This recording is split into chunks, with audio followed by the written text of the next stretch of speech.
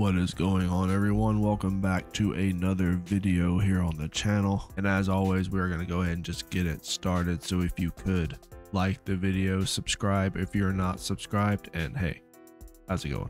My name's Ratboi. Let's go.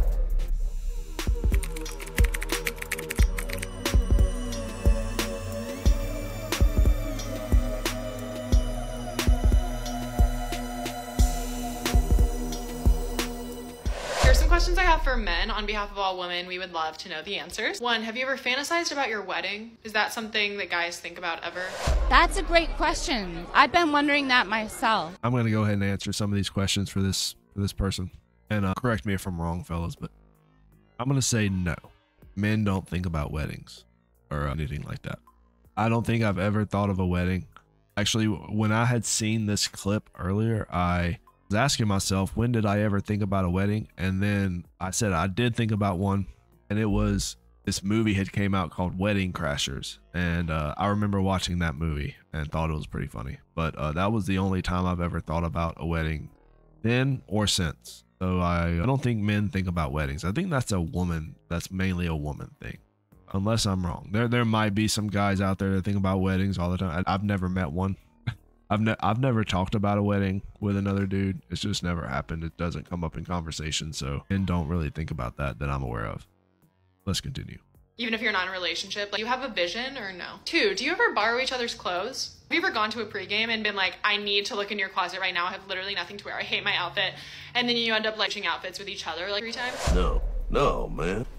No, man. I believe you get your kick saying something like that, man. No, I don't think I've ever borrowed any of my friends' clothes at all, mainly because I don't wear the same size as a lot of my friends. I'm uh, kind of taller, broader shoulders.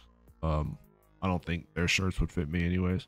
There was one instance, and this was back when I was in college, and I did accidentally wear my roommate's pants to work. I did wear my roommate's pants to work one day. That's actually a funny story I might tell later, but uh, that was a very weird day, very weird work day. But uh, let- let's continue. I don't think that guys do that, but I would love it if they did. Did you ever lip sync to High School Musical or Camp Rock in the mirror as a kid? Also, did you like High School Musical and Camp Rock? And if you didn't, why are you lying? Oh, you. No, hang on. Just realised. Um, I I don't want to talk to you anymore. I do know of them, but uh, I was never really a big uh, Disney Channel person. I don't think, especially around that time. Absolutely not. I've never really liked musicals ever. I don't know a lot of guys that actually like musicals, so uh, I, I don't think I've never been to a musical, so I, I don't. Uh, musicals really aren't um, something that I'm probably ever gonna go to or uh, be entertained by. And lastly, when is the last time you cried? And why was it when you were 17? That doesn't seem healthy. Just let it happen. It would be good. Don't call me. Don't come by my house. We're done. Here's the thing about crying or actually being emotional whatsoever.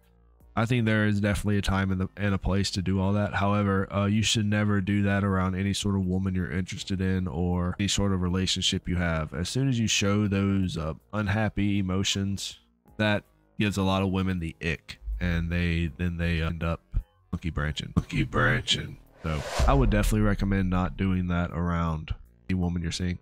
But you want to go to the gym and you want to do some ego lifting and cry during that, you can definitely do that. I have no problem with that. Let's check out this next clip. men can actually and categorically ruin your life. So we're sitting down saying, Yes, and a good man can still be bad for you.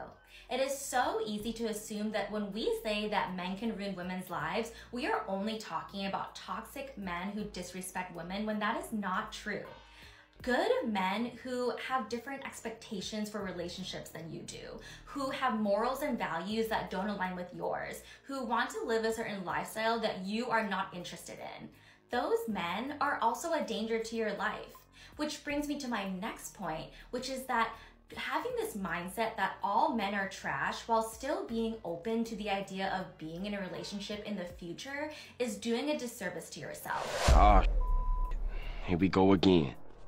Hey, look, I thought we were doing the 4B. Isn't 4B where you like you don't even think about men and you you shut yourself off and you don't do anything or It, isn't didn't I do a 4B video? I'm pretty sure 4B is like you don't do any of that stuff. So why are we still uh, talking about this? Why are, why are we still trying to uh, convince ourselves that men are these dangerous uh, people all the while um, you're still in contact with many many of these different types of men just not just only when you can get something from them isn't that weird to anybody else and just to let you guys know that i've changed i am definitely not going to say anything about this uh, individual's forehead let's continue because when you meet a man who is a decent human being, it is going to be that much harder to figure out whether you two are actually compatible or if you are just not used to a man treating you with bare minimum respect. And when you add that onto a scarcity mindset, this idea that you need to choose the option in front of you because you do not believe that there is going to be a better fit coming your way, it is not shocking that there are people who are in unhappy relationships despite believing that they chose a good person. You sure about that? You sure about that? The way this person talks really annoys me. Or is it just me? Or the, the way this person talks is just very annoying. And we get it. You don't like men. You don't like men. But the thing is, is that if we were to go into this person's comment section, I can't remember what the comment section said at the moment. But if we were to go into this person's comment section, it would be all of these these women that are agreeing with her. Say, you know what? Now that you mention it, men are dangerous. I don't need to be around men because all they do is lie. All they do is is take advantage of women that are nice, women that are perfect, like me. You see me, I don't do anything wrong. It's always the other person. It's always the man. The man does everything wrong. Not me. I don't do anything wrong. I have a septum piercing and I'm perfect. I do nothing wrong. It's the man that does stuff wrong because, uh, well, six years ago, a man hurt my feelings and, uh, I never let it go. I never got over that, that one instance where a man was possibly mean to me and now all men are trash. I made a video earlier about when women are in their early 20s and, and they're looking to start a family, they're looking to find a, a, a man to settle down with, if that's what they're trying to do. I would recommend them to do it as early as possible. Find them a man that they want to grow with and start your start your family. Couples have always done because it, it, it just works. This is what happens whenever you don't do that. And then you're looking at the you're looking in a mirror and you're like, you know what? I messed up.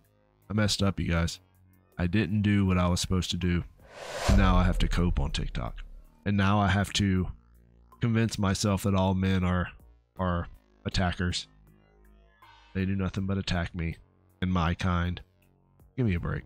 Because two things can be true at once. Someone can be a kind, decent human being and still not be the right fit for you which is why it is so important to decenter men. Because when you are in this mindset where you are living a life and making a life that is fulfilling for you, you are not going to allow anyone to be your partner because you are going to be comfortable leaving that spot open for the right person instead of just anyone.